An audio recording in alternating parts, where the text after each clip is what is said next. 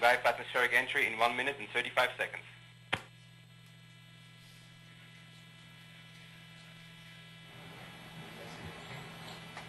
At this time, Phoenix has now started transmitting 8 kilobit per second data as opposed to carrier. Uh, originally, carrier, like we said before, was like a constant C note that was just easy to pick out. Uh, we are now transmitting actual data. That data is being re received and recorded and will be played back later. Uh, the turn to entry has been completed, and now all we're waiting is the entry to the atmosphere.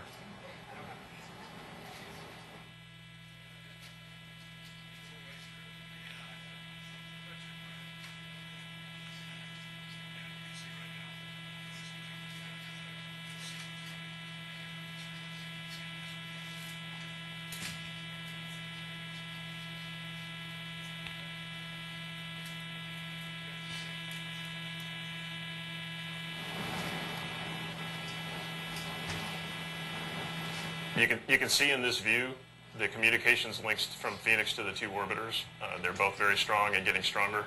MRO and Odyssey, like I mentioned before, are both converging over the top of Phoenix uh, toward parachute deployment. We're getting very close to entry.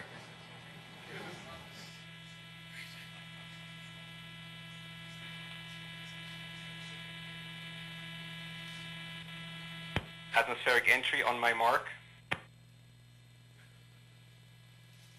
Five, four, three, two, one, mark. Expected peak heating rate in 1 minute and 40 seconds, standing by for a possible plasma blackout.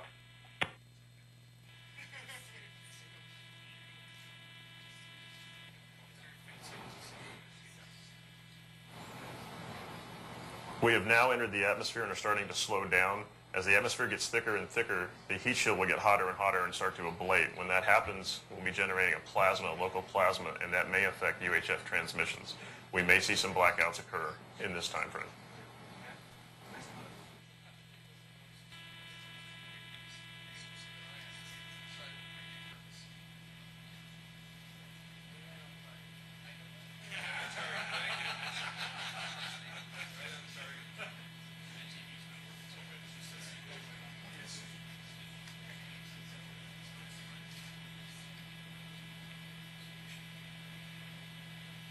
Phoenix now one minute past the entry point. We still have a signal by direct by Odyssey.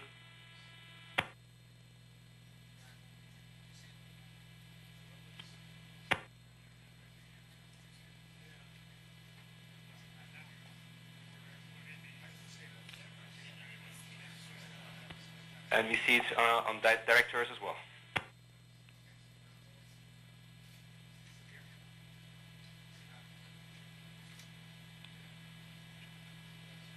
At this point in time, we notice a drop in the Odyssey signal, but we still have Odyssey data. Okay.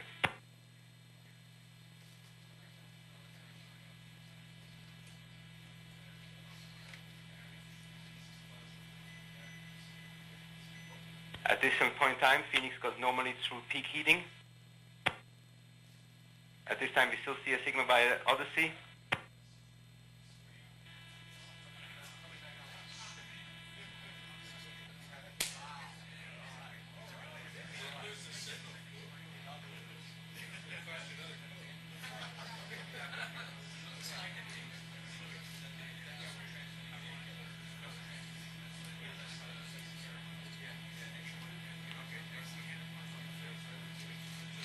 Phoenix now 2 minutes and 25 seconds past the entry point. We still have a signal via Odyssey, standing by for reacquisition via direct to Earth. Standing by for Odyssey switch, switch to 32K in 45 seconds.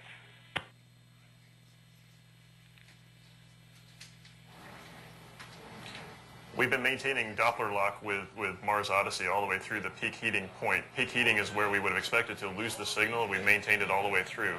Uh, at this point, we've also experienced the maximum G forces that we would have experienced during reentry at about 9 Gs.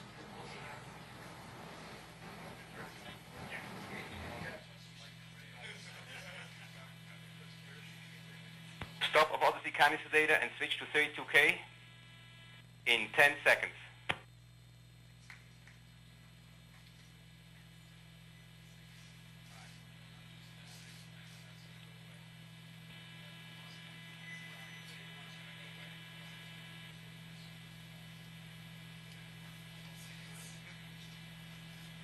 Odyssey switch to 32K detected. We have Odyssey locked up onto Phoenix carrier. Standing by for expected parachute deployment and Phoenix switch to 32K. At this point in time, Phoenix would have normally deployed its parachute, standing by for telemetry acquisition.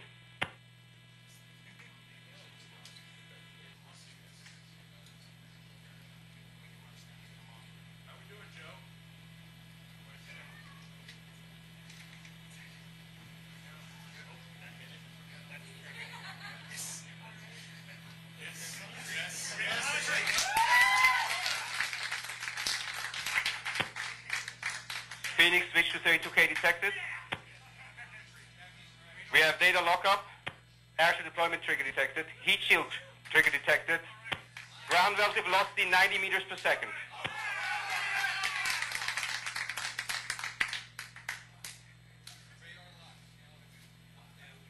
Ground relative velocity 80 meters per second.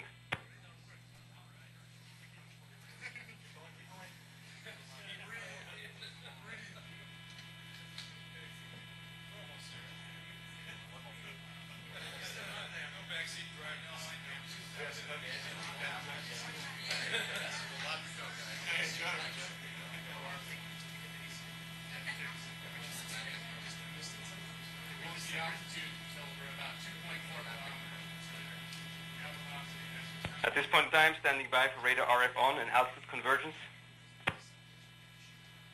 Radar switch to altitude mode.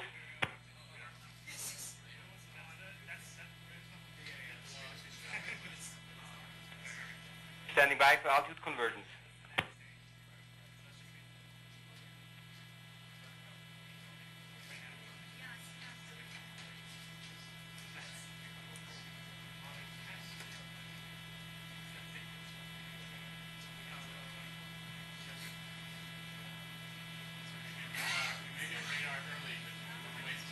Land leg deployment trigger detected. Ground velocity 60 meters per second. Standing by for altitude convergence.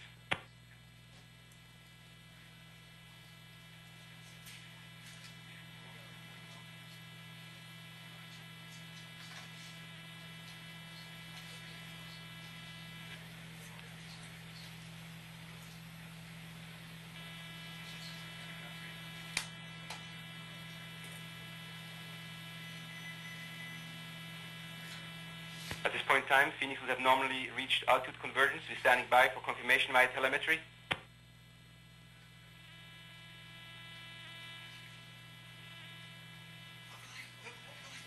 Radar reliable. Altitude 2,000 meters. Altitude convergence detected. Altitude 1,800 meters, 1,700 meters, 1,600 meters.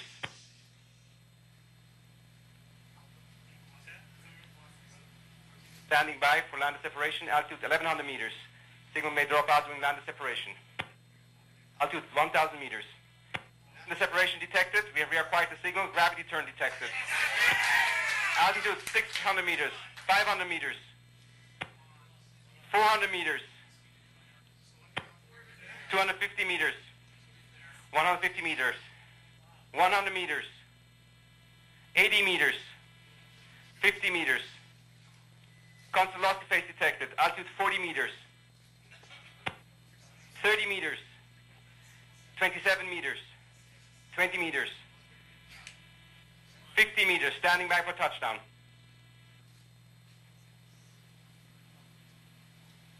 Touchdown signal detected. Landing it. Landing it sequence initiated. Helium vent detected.